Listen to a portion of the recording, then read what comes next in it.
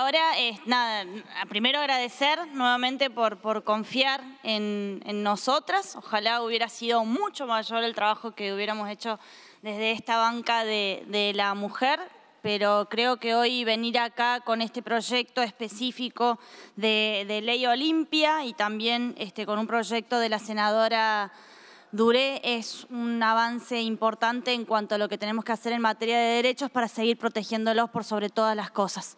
No sé, mis compañeras, si quieren mencionar algo. Edith. Bueno, muy buenas tardes a todas. Este, por supuesto,